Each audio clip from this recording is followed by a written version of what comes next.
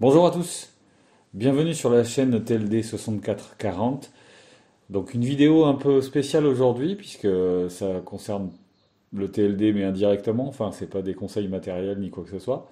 Ça concerne Strelok car euh, face aux dernières annonces concernant cette appli et au risque potentiel de la perdre du moins, euh, ben, je me suis senti obligé de faire une petite appli pour, vous aider en cas.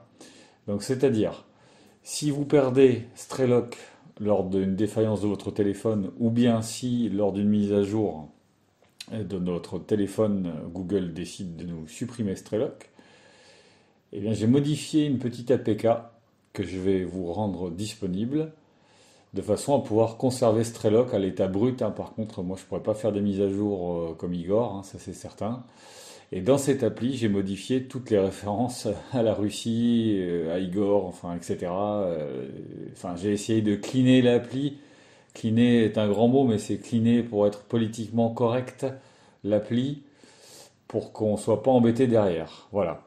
Donc je vous propose de regarder comment il faut faire déjà pour sauvegarder vos, fusils dans l'appli. Et ensuite, comment procéder à l'installation de l'APK et je vous donne le lien euh, de téléchargement en fin de vidéo. Voilà, merci, bon visionnage. Donc, pour sauvegarder vos fusils, c'est très simple. Vous ouvrez Strelok. Vous allez dans la petite roue dentée orange. Vous ouvrez là, donc c'est les paramètres. Vous descendez vous voyez sauvegarder les armes. Vous avez plusieurs options. Vous avez l'option complètement à droite fichier. Cliquez sur exporter les armes. Et là, vous pourrez exporter vers euh, un lieu sur votre téléphone de votre choix. Hein. Là, c'est le lieu de base d'installation de Strelog, donc après, c'est un fichier à récupérer. Mais vous pouvez tout à fait l'installer euh, dans, un autre répertoire euh, en cliquant sur le, en haut, là, sur le, les deux petits points et la, barre. Ça, ça vous permet de changer de répertoire. Vous voyez tout en haut, en fait, tout en haut en bleu, le répertoire où est sauvegardé votre, votre fichier. Quand vous avez fait ça, vous avez également d'autres options. C'est de passer par Dropbox, Google Drive. Bah, du coup, moi, moi j'y passerai pas parce que ça fait un peu peur. Mais je pense que passer par Dropbox, c'est une bonne, euh, une bonne solution. Voilà pour la sauvegarde des fusils.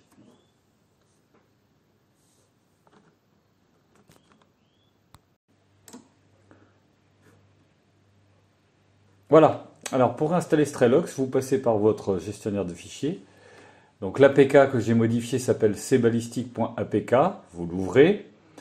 Il est probable que votre téléphone vous demande d'autoriser les sources, euh, d'installer des sources externes par sécurité. Vous l'autorisez évidemment, puisque lui, il ne reconnaît pas ça comme un fichier venant de Google.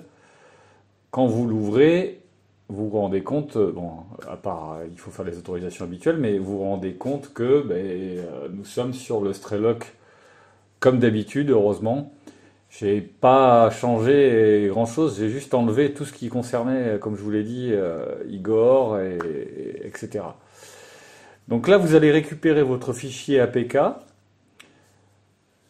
Vous importez, en fait, vous cliquez sur importer les armes et vous allez chercher votre fichier, pardon, euh, SRL où sont sauvegardées vos armes. De là, vous pouvez restaurer donc tout ce que vous avez paramétré sur vos armes auparavant. Je pense qu'il va falloir par contre que vous remettiez toutes vos cibles. Mais bon, ça permet de pouvoir utiliser Strelok euh, dans le futur euh, en attendant des jours meilleurs. Et donc pour ce faire, je vous mets le lien euh, de téléchargement sous le, descriptif de la vidéo. Voilà. Bah, merci pour le visionnage et à bientôt pour une prochaine vidéo.